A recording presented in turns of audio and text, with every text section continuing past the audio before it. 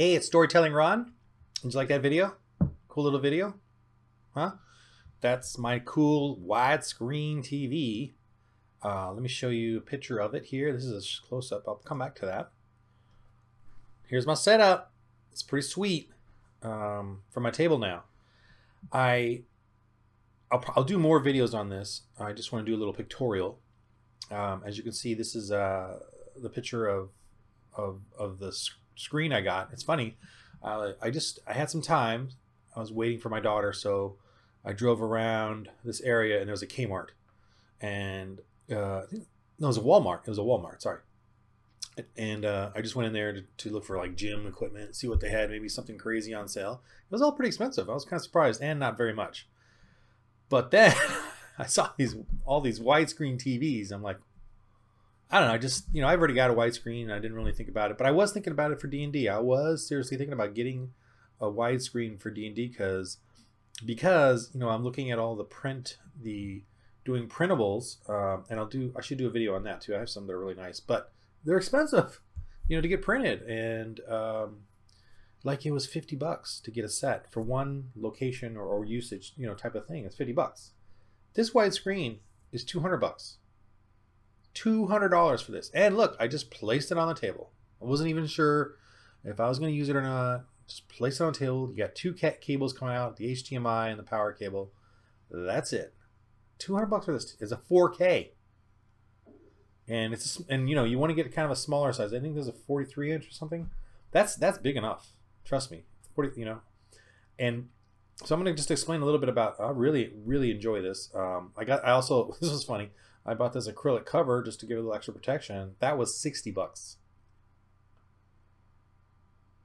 I mean, the TV is like the cheapest things on this table right right here. Practically, you know what I'm saying? Oh my gosh, 400 bucks. It's cheaper than a phone.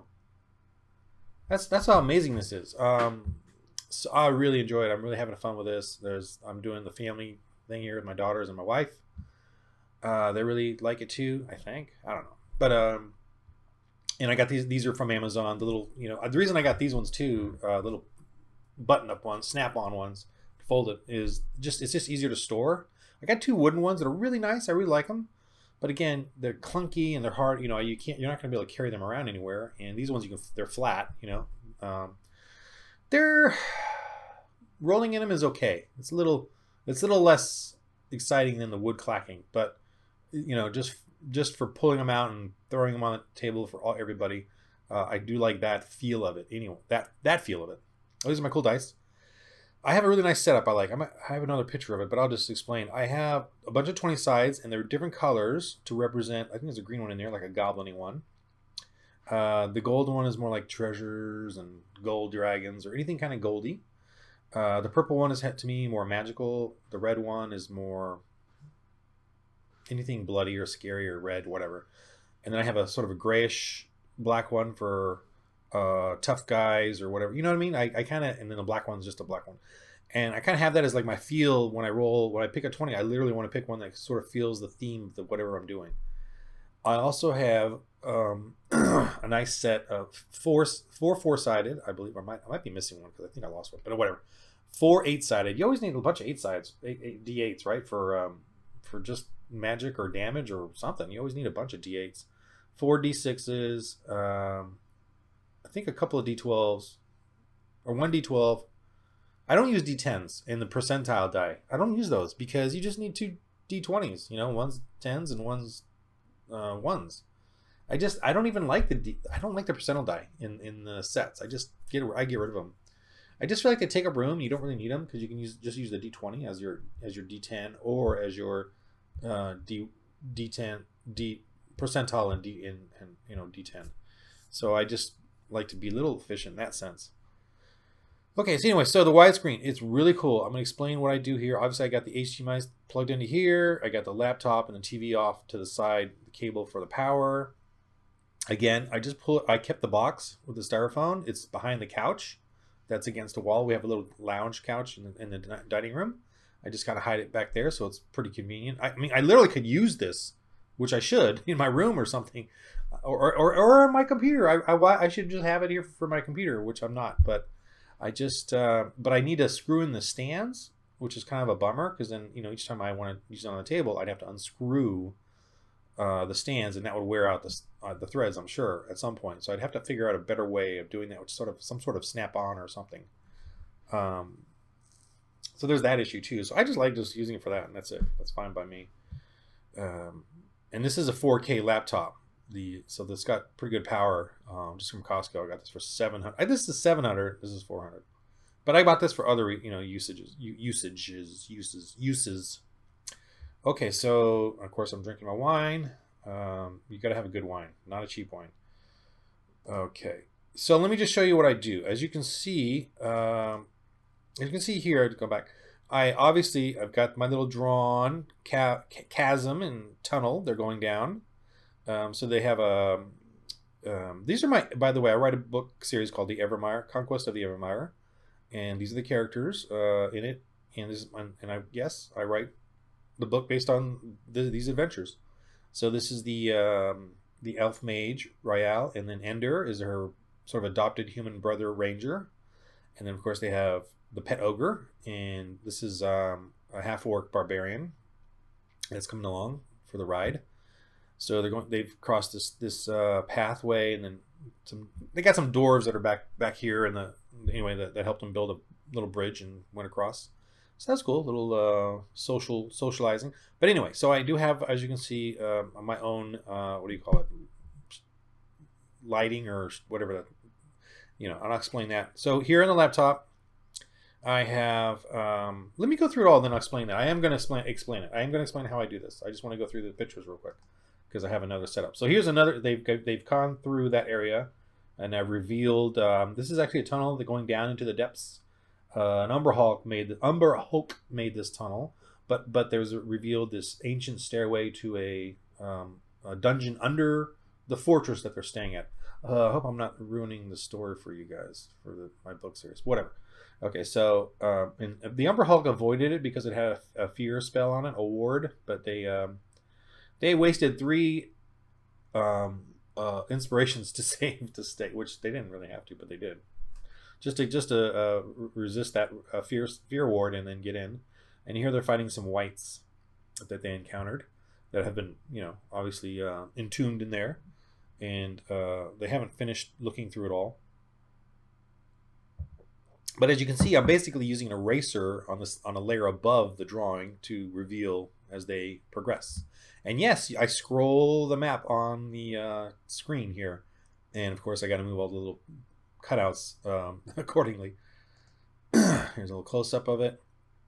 And as I, am drawing, uh, I'm trying to keep it simple and, you know, a little bit of shade just to differentiate the solid from the opening and stuff. And I'll explain the grid thing too here in a sec. Uh, here's more of my setup. It's pretty fun. It's see how kind of simple it is because I actually have most of um, what I need on, on, on here. I have InDesign open as well. I use Adobe InDesign to, to prepare my stuff. And I generally like to write all, even my monster stats and my NPCs in short form. Um, I generally put them all in. So I'm drinking coffee doing my little morning burps. I put them all uh, on on there, so I like to have everything kind of just in one one area. And it also helps because I write my stories based on it. So I have a diary, journal, or log, or whatever of all that happened, and then all the NPCs and, and, and stuff. Oh, that's it. That's it. Okay, so that's it for this. Uh, yep. And let me go a little close up. Let me show you now. Um, this is the the actual place that they're doing, and I want to show you. So they've, as you can see, they they went through here, and then um, you know, all this. So I made it like a simple thing where they had to you know cross a chasm then over here was like a big, really rough terrain they had to get get over and you know trip or fall or whatever. Um, just simple stuff, no, no encounters because they already um, dealt with the Umber Hulk previously. And then of course they had to deal with this, and then they had to fight in here, and that's as far as they got in this episode. Um, well, they fought a couple of groupings of wights that came out, like came out from here, and came out from over here, and so what I did is I had I, I made a copy of this as just a JPEG. So I had two. Oh, let me show you that picture. I had two um, versions of it up on my setup. Yeah, I had two versions of it up. This one is um, the probably the layered one, so I could see everything. And then I had another window over here. I dragged it over to the second screen, and then had that with, as you can see here, two layers: the the the, the JPEG of this, this, and then the uh, layer above it that's just black, right? And then of course I, as soon as they see something, I carrot with my mouse here have to, you know, I'm not still not, you know, still not agile with with sitting here and then looking at it. Um, and then uh, erase uh, erasing it along. Now I do it is a little high for me, so I uh, the last game I played I used a stool to sit up a little higher to see it, you know, because I see a lot of the or, or, there's only a handful of these on the on YouTube that I've seen, and they always lower lower it down on the table, which uh, makes sense. But I, am not gonna, I don't think my wife's gonna let me cut a hole through our thick uh, uh, table here. Okay, so let me go back to this, and I'll show you obviously I make a layer above, not not in this one, but in the JPEG, where I just fill it with black just to show you and have fun. Meow. And then you know have uh, my big eraser. You know, just um, boom. Oh, I should. I didn't do it this way. I should do it more. Ooh, yeah, more like that. I had it more of the solid. You know, um, more like this. Yeah, I had it more like that. But that's cool. I like the uh, the uh, the softer edges. Ooh yeah. So when they you know show up at somewhere, and then of course they they went through and went through all this. Um,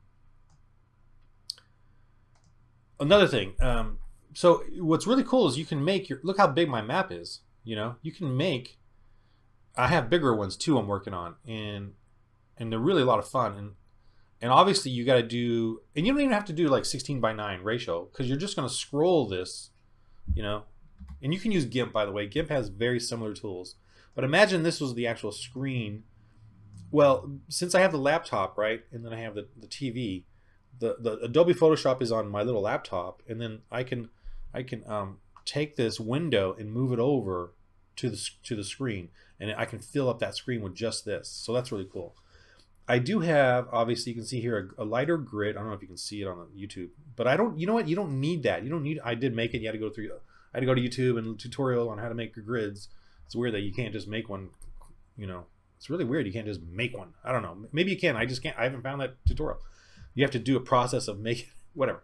Okay, but probably the reason is that you can make a grid on YouTube or on uh, Photoshop.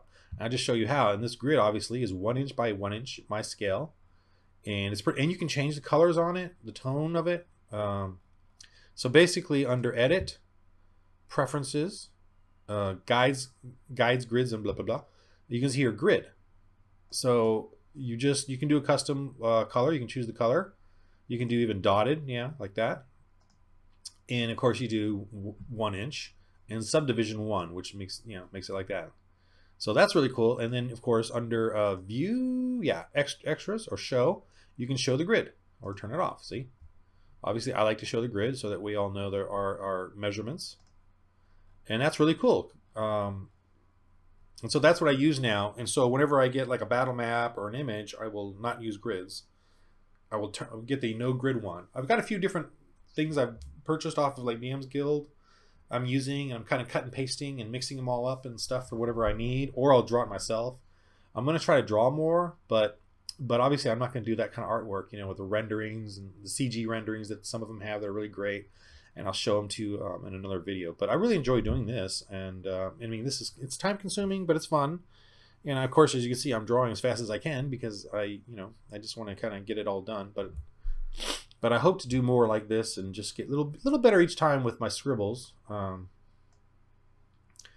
and so this is a lot of fun. I really enjoy it, and I just wanted to show you guys, you know, how I think the future is a widescreen TV, and there's going to be a lot more products that I'm pretty excited about. And I've seen some on online. I'll probably have to start researching more um, now that I have the widescreen TV, and I'm really enjoying it. And it's much cheaper. It really is. I mean, if you think about it, you know, I, you, obviously you can take this on the road um, if you go anywhere and do it. You, you know, I still use the fold out type of um, with the dry erase, which is fine. You know, but at home, man, and with this little setup, it was really really neat. You can and oddly, you know, you can even play your YouTube like like the sound score th- through it as well. It kind of comes out of the TV.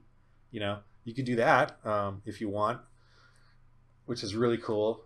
Um, what else? It's just yeah, I really really like this. It lights up the the room a bit, gives you good, good ambiance, and I have some other really great stuff I'll show in the next video. But I think this is just a primer of what I'm doing um, on the screen.